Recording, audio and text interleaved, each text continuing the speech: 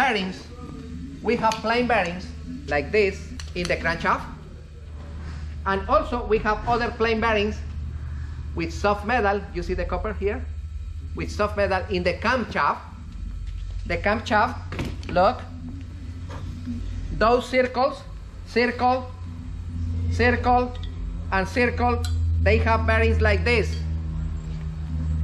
In those in those main journals, main journal, main journal, main journal. In the main journals of the camshaft, you have other plain bearings. Look at this. The oil suction from the oil pump in the bottom enter here, lubricate the bearings of the crank, goes up, lubricate the bearings of the cam, and goes up, goes up, and lubricate the rocker arms, and goes down for gravity. Once again, later we are going to study that, that circuit completely, but today is only to understand the engine.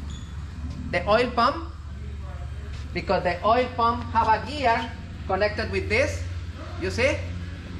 The oil pump suction the oil, and the oil immediately is pressurized, and the oil lubricate the bearings, the plain bearings of the crank, and goes up for internal cavities in the block of the engine and lubricate the bearings of the cam, and goes up, up, up, up, up.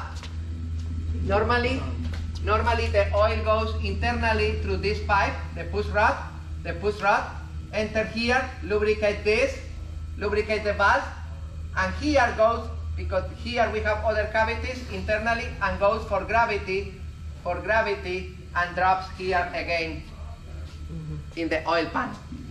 Anybody follow me? Wow!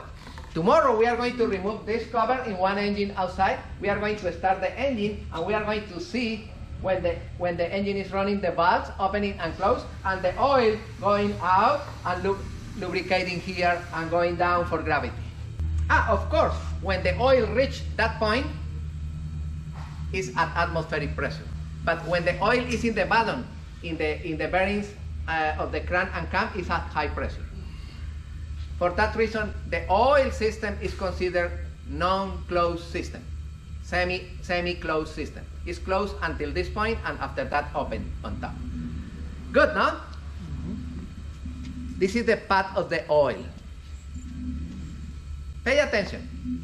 When the oil reach that point, that point, if the valve and the spring is here, and here we have a pipe is the guide where the where the valve is is is moving, and around this this guide we have a seal, a special seal.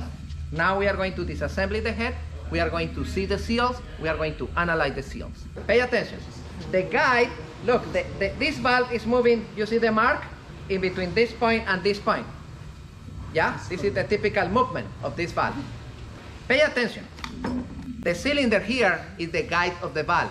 If the valve and the guide have too much play, and the seal on top is, is broken, what happened when the oil reach the rocker arms? The oil, the oil enter here, enter here, and enter in the combustion chamber, and you have Blue smoke. blue smoke. For that reason, my friends, always, always, always, always, oh, in that engine I have constant blue smoke because the, the valves are free, too much play, and the oil penetrate over there. Too much people say, Mr. Lopez, oh, it's possible that the oil enter here. Yes, but not too much.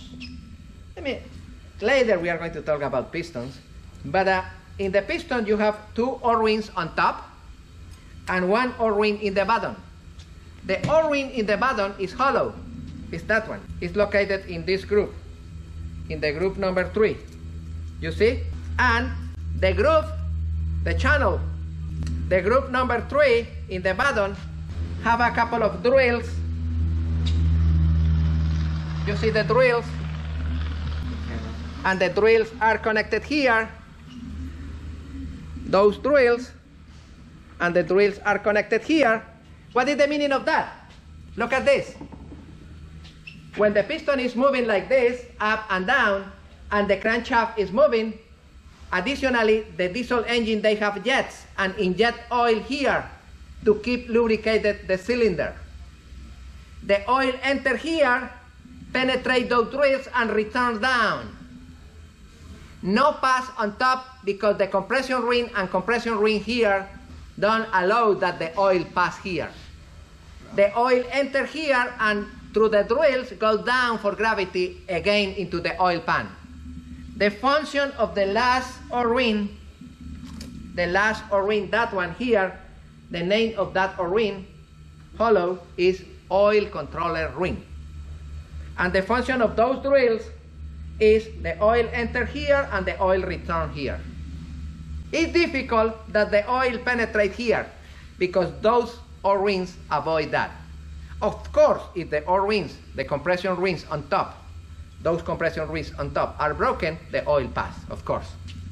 But uh, normally, normally, normally, in normal condition, if the engine is in good conditions, if you have blue smoke, it's problem on the valves, not on the piston rings. Of course, if the piston rings are broken, yes. That's clear?